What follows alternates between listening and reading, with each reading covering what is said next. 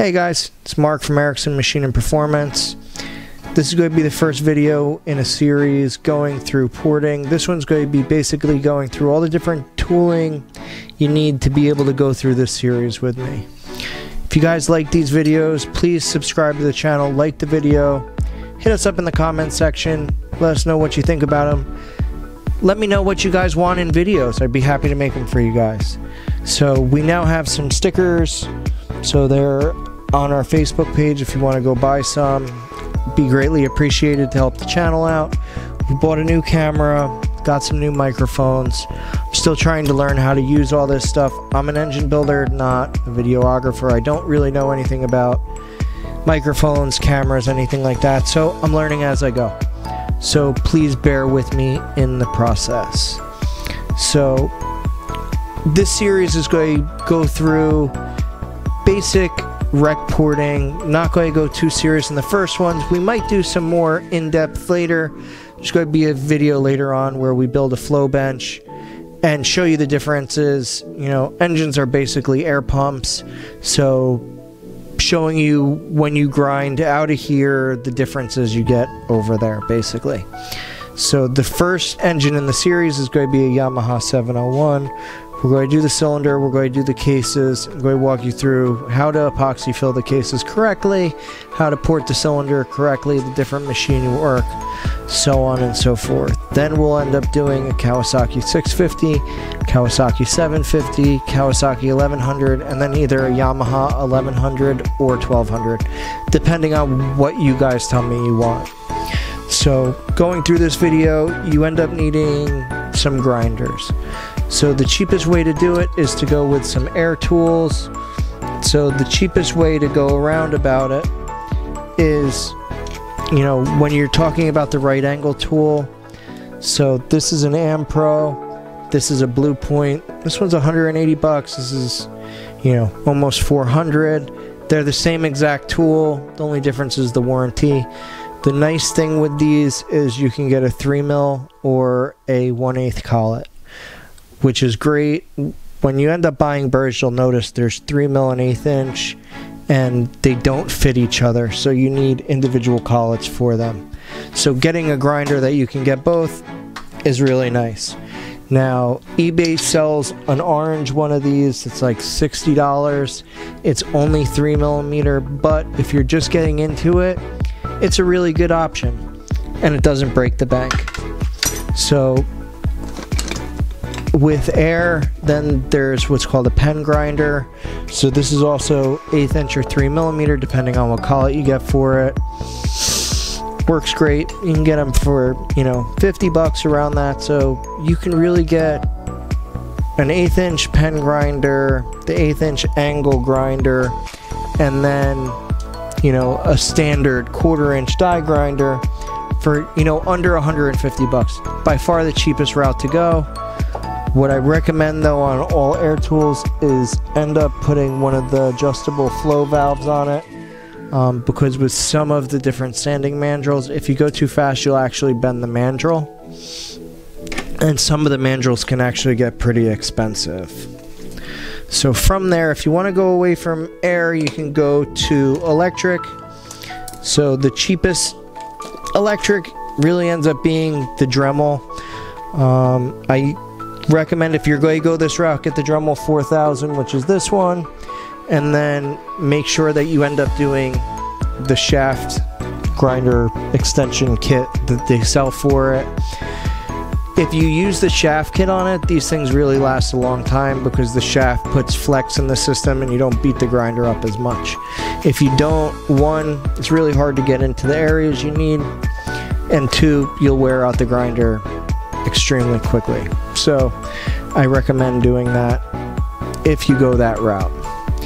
And the last method, which also happens to be the most expensive method, is a Foredom or, you know, a standard shaft grinder setup. This setup's great because the SR motor that I use is reversible, so you can go forward, backward with certain right angle tooling. That's beneficial because the tools have a tendency to jump. Nice thing with my setup is I have this Foredom rack. It's really nice. I have a whole bunch of different hand pieces to make it go quicker while I'm customer cylinders.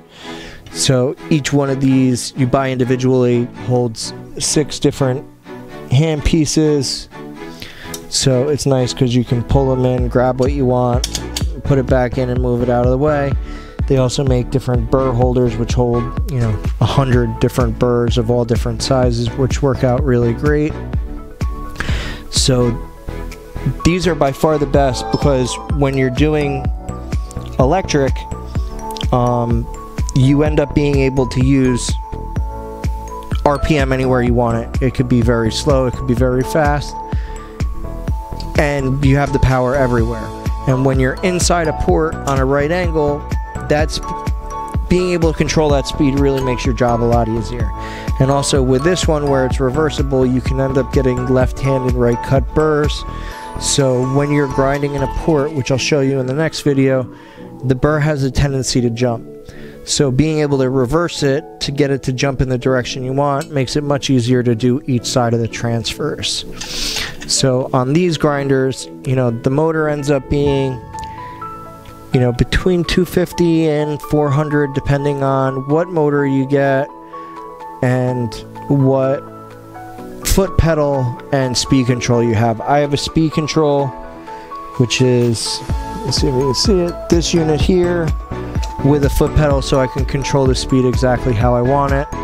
Then there's a few different hand pieces that I use for the straight hand pieces. I have the standard, which is the 44. Um, this is the 28, which is the same as the 44, but only for um, eighth inch or three millimeter. This is for quarter inch, three millimeter, eighth inch, and I believe even 332nd, the larger one. And then this one is an 08, which is even smaller than that, and it's got what's called a duplex spring. So it makes it very easy to, you know, really get inside of a port and get in there for the tiny stuff.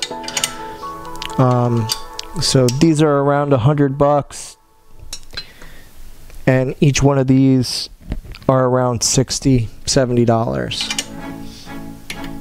Then when you go into the right angle tooling, with this stuff it's kind of where it gets expensive. There's a few different routes. So Foredom made an older style, which is similar to a dental tool. You can normally pick them up on eBay for, you know, $150. They work fine. You have to be very careful with them because the gear trained in them isn't all that strong, so you can't really hog out with them. Then CC Specialties sells their own. Also, I think it's called the Mold Shop. They sell them as well. So this tool is the smaller, it's, you know, around 350 or 360 dollars, and the larger, heavier duty one is around 500. Um, these things, the only benefit to them is you buy them once, and they really last you a lifetime as long as you take care of them. So that gives you a general idea on the different grinders you'd use. Now on to burrs. So there's a few different things that you'll use for grinding. So you'll use carbide burrs. You'll also use diamond burrs, sanding discs. Some people use sanding stones. I personally don't. Um, and then you'll end up having sanding rolls, sanding drums, and Scotch-Brite buffs each one of these things has their own thing. I don't know if you can see here. Um, I literally have hundreds of different burrs of all different sizes for, for different jobs. Um, and by having a whole bunch of different sizes, it, it makes doing what you're doing significantly easier because certain angles help you get into certain places easier, which is something you'll learn as you go what I recommend to people if you're going to buy this stuff, don't go out and spend a couple hundred dollars on really, really expensive high end sets. Buy some cheap ones on Amazon or eBay because while you're learning, you're going to bend them and destroy them. Better bend a $20 set than a $120 set. Um, you know, you can normally pick up. So there's a few different style carbide burrs that are common. So there's quarter inch, so you end up having quarter uh, sorry, eighth inch with quarter inch burr, or eighth inch with an eighth inch burr. So see if you guys can see the two different. So this is the larger, that's the smaller. So the larger one you can normally get a set of 10 for around 20 or 30 bucks. The smaller one you get a set of 20 for around the same amount of money. So I re recommend getting one of each and then getting a set of double cut quarter inch carbide burrs with you know a 3 8 head on it for doing your roughing on your cases and that type of thing. Now they also do have burrs specifically meant for aluminum where they have a very very aggressive tooth pattern um, the flutes really, really grab. Only for aluminum, though, you'll destroy them. I really only use them for cases because they remove a lot of meat. After that, you end up going to your different diamond burrs. These I really recommend for people starting out because the nice thing with them, considering there's not a flute and it's just diamond, it's very easy to have a consistent cut without it bouncing all over the place. And because you're not removing a ton of metal, you can't really make that big of a mistake. So, although it takes longer, it's one of the best ways to learn. Onto that, then you end up having different sanding rolls and discs, which you can have, you know, long mandrels, short mandrels, medium mandrels, and then all different grits and sizes. So I don't know if you guys can see here, there's all different trays stacked up with all different sizes. So they come in different lengths, different sizes, different grits. So start off with, I normally tell people start off with some, you know, 60 grit and 220 grit so you can rough it out and then do the finishing on it. Um, they come in straight and tapered. You know, sometimes it's easiest to buy a porting kit, which got a whole bunch of different ones and see which ones works for you because there's really no wrong answer. It's whatever you feel most comfortable with. And then lastly with that stuff ends up being Scotch-Brite buffs. So these are very expensive but when it comes to finishing exhaust port there's nothing that does a better job. So those are really used for just finishing the port at the very very end. So that gives you an idea on general tooling that you'll need. Um, lighting is extremely important. So one thing I use a headlamp. So this I picked up on Amazon. Like 20 bucks it works great.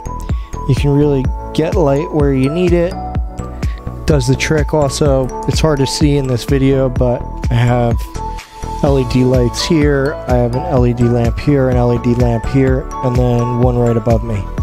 So lighting, being able to see what you're working on is extremely important. So it's a necessity. And then lastly, it's marking what you want to port and then being able to measure it. So the main thing that most people use is Dykem. It comes in a few different colors. I use red and blue. So you just take it, paint it on, and let it harden and then you can scribe on it. There's a few different methods of scribing. So this is an adjustable scribe, so there's a step that you can measure, get it exactly where you want it lock it down and then go in the cylinder and, and scribe at that height.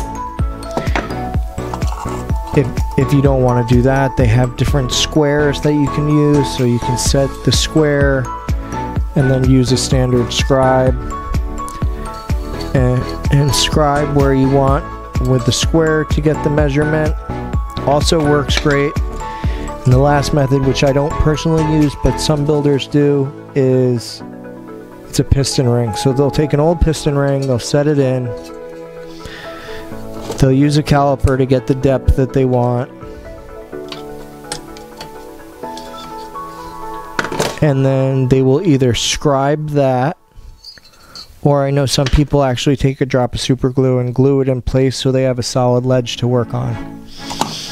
As I said before, there's really not a right or wrong answer. It's whatever you feel most comfortable with. Go with that. What I tell people is port the cylinder first and then have it bored and honed last. While you're doing this, the cutter can jump around and beat up the cylinder, then you end up having a finished cylinder with, you know, grind marks all over it. It's much better to port it first or port it very close first, then have the machine work done and then do just a little finish porting and chamfering the ports at the very, very end. But as I said before, it's really whatever your preference is and whatever works best for you. The, the last method is that I know of, I'm sure there's a million more, is you end up taking a piece of paper or cardboard, you scribe out on it or draw out on it exactly the shape of the port you want, and then you can take that and feed, you know, cut it out with a razor blade so you get the shape and feed it in the cylinder, and then scribe out the shape and then go off of that. As I said, really no wrong method to it. It's whatever works best for you. So, hope you guys liked the video. Please, as I said before, subscribe to the channel, share the video, show people this stuff. I want to grow the channel. I've got some really neat ideas to come in the future, and I need your guys' help to do it. So, hope you guys liked the video. Can't wait to show you the next one, which we're going to finally start grinding on some cylinders and making some horsepower. Alright, guys, you have a good evening. Thanks again.